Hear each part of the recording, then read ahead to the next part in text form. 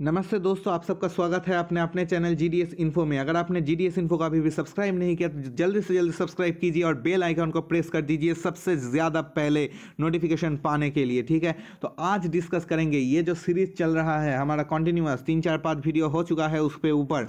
और इस सीरीज़ का ये वीडियो है कि यहाँ पर क्यों ज़रूरत आ गया ट्वेंटी ट्वेंटी टू का कॉन्डक्ट एंड एंगेजमेंट रूल लाने के लिए? क्योंकि आप जो देख रहे हैं कि लगभग सब कुछ सेम ही है G D S twenty twenty rule के साथ G D S twenty twenty two के रूल के। लेकिन आज आपको क्लियर हो जाएगा कि क्यों चाहिए G D S rule conduct and engagement rule twenty twenty two department of post का क्या धारणा है इस रूल को लाने के पीछे?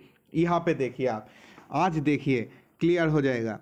A candidate can apply against only one division of the notifications the candidate will be considered for the eligible post of the division by default on selection the division.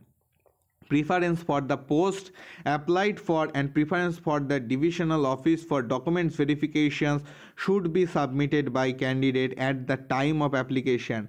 Hence candidate should exa- exercise due care while utilizing choice of division available to her or him however only one post will be offered for a notification if he or she applied for only one or more posts in one division under any circle क्या clear हुआ नहीं हुआ ना इसीलिए तो हम बैठे हैं तो पहले जो डिवीज़न का मतलब जो जो लेवल था कि जो एप्लीकेशन का लेवल था वो लेवल क्या था वो सर्कल लेवल था जब नोटिफिकेशन आता था एक सर्कल का आता था जैसे कि वेस्ट बंगाल सर्कल हो गया जम्मू कश्मीर सर्कल हो गया कर्नाटक सर्कल हो गया तेलंगाना सर्कल हो गया आंध्र प्रदेश सर्कल हो गया महाराष्ट्र सर्कल हो गया पंजाब सर्कल हो गया हरियाणा सर्कल हो गया उत्तर प्रदेश सर्कल हो गया ऐसा करके आता था आसाम सर्कल हो गया ठीक है ऐसा करके आता था दिल्ली सर्कल हो गया तो अब ये जो डिपार्टमेंट ऑफ़ पोस्ट करने जा रहा है वो डिवीज़न लेवल पे करेगा ठीक है? जैसे कि एक सर्कल के अंदर इस दस डिवीज़न में आ गया बम्पर भर्ती। ऐसा करके नोटिफिकेशन आएगा आप ठीक है? इससे क्या होगा? इससे जो होता है कि बहुत सारे लोग हैं कि उनका घर है, समझ लीजिए उनका घर है दिल्ली में, लेकिन वो यूपी का फॉर्म फिलअप कर देते हैं। लेकिन वहाँ पे जाते नहीं हैं, ठीक है? उससे क्या होता है? डिपार्टमेंट ऑफ़ पोस्ट का टाइम लॉस होता है। दिल्ली में अप्लाई किया, उनको दिल्ली में मिल गया, लेकिन अनसिक्योर फीलिंग था, इसीलिए यूपी में कर दिया और यूपी में भी उनको मिल गया। तो ये लोग तो जाएँगे नहीं यूपी में। दिल्ली में इनको मिल गया ओके फाइन लेकिन अब यूपी वाला जो पोस्ट था, वो पोस्ट का एक साल फिर से लेट हो गया डिले हो गया जी डी के इंगेजमेंट प्रोसेस के। क्योंकि इसको बार बार इन्फॉर्म करेगा डिपार्टमेंट ऑफ़ पोस्ट कि आओ भाई ज्वाइन करो। एक साल, दो साल तक ये इन्फॉर्म करता ही रहेगा, सिर्फ़। कि इनको ज्वाइन करना है या नहीं? दिल्ली वाले को यूपी में ज्वाइन करना है या नहीं? और फिर आईपीओ क्या करेगा? उसके बाद ऑर्डर रिलीज़ करेगा। ठीक है, ये ज्वाइन नहीं करना चाहते। सेकेंड हाइस्ट कॉन मार्क्स किसका था? उसको ले आओ। तो ये एक साल का डिपार्टमेंट ऑफ़ पोस्ट का लॉस हुआ कि नहीं हुआ? ठीक है? बहुत सारे लोग इस गलत इस्तेमाल किए हैं। बहुत सारे लोग ये गलत इस्तेमाल किए हैं। और इसीलिए ही डिपार्टमेंट ऑफ़ पोस्ट ने ये रूल बनाने का सिद्धांत लिया है कि आप डिवीज़न में होगा। चलो, आओ। अब करो दिल्ली से यूपी में फ़िलहाल। डिवीज़न का पता रहेगा तब करोगे ना?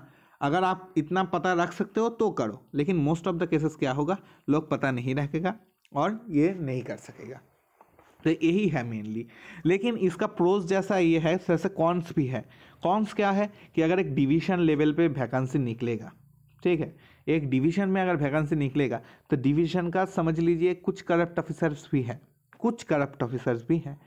तो वो लोग चाहेंगे कि मेरा नज़दीकी रिश्तेदार, मेरा जीजा जी का लड़का, मेरा साले का बेटा, ऐसे करके कुछ को अंडर बैकअप पुशअप करने के लिए।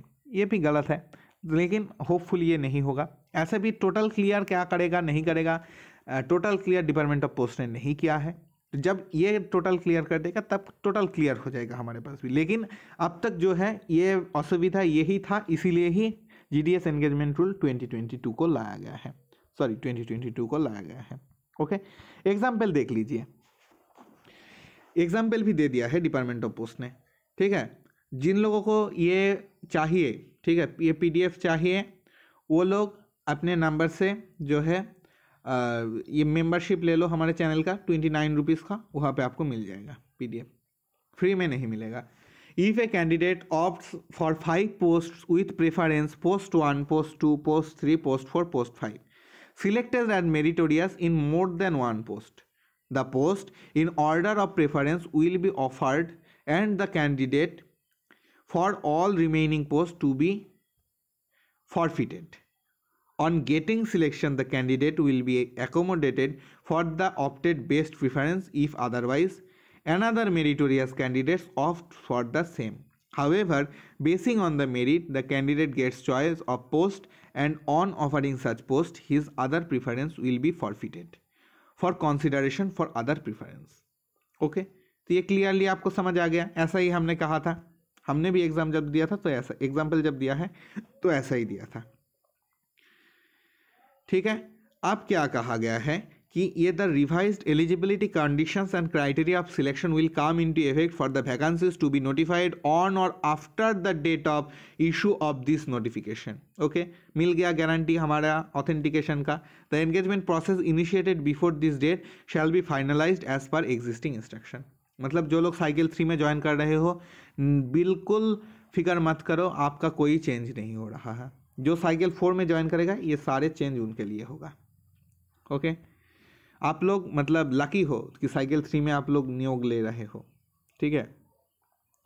तो ये जो है, ये इस मॉड्यूलर नोटिफिकेशन से नहीं होगा, क्योंकि ये जो है, ये एक ड्राफ्टिंग कमिटी है, समझ लीजिए। जैसे हमारा संविधान जब लिखा हुआ था, तब एक ड्राफ्ट तैयार हुआ था। ड्राफ्ट कब कब गृहित हुआ था? ट्वेंटी सिक्स नवंबर को गृहित हुआ था, ठीक है? ट्वेंटी सिक्स नवंबर को लिया गया था नाइनटीन फिफ्टी में। और ये केम इन फोर्स कब हुआ? ट्वेंटी सिक्स जनवरी में। ठीक है? संविधान समझाना आपको हमारा उद्देश्य नहीं है, लेकिन ये ड्राफ्ट जो है निकल चुका है। कब निकला है? अठारह तारीख को निकल चुका है, अठारह नवंबर को, और जनवरी महीने में ही इसका भी जो है ये केम इंटू एक्शन आ जाएगा। ओके सिलेक्शन क्राइटेरिया कैसे होगा? ओके सिलेक्शन क्राइटेरिया पे फिर बाद में डिस्कस करेंगे। यहाँ पे बहुत सारा अपडेट है, देखते रहिए हमारे साथ। एक बार में हमारे पक्ष से भी ये देना संभव नहीं है। ठीक है? वीडियो बहुत लंबा हो रहा है। Okay good bye. क्या इंग्लिश बोलने से लगता है आपको डर? तो डरना बंद कीजिए और Doubtnut English speaking course के साथ आज ही जुड़ जाइए। यह टॉप एक्सपर्ट्स आपको हिंदी भाषा की मदद से इंग्लिश बोलना सिखाएँगे, वो भी एकदम बेसिक से। अगर आप इंग्लिश बोलने से हिचकिचाते हैं आपने इंटरव्यू के लिए इंग्लिश सीखना चाहते हैं, अपने आप को इंग्लिश में हीरो बनाना चाहते हैं तो ये कोर्स आपके लिए है। आज ही डाउट नट ऐप पर जाकर ये कोर्स खरीदिए और आपके खुल के इंग्लिश बोलने के सपने को पूरा कीजिए।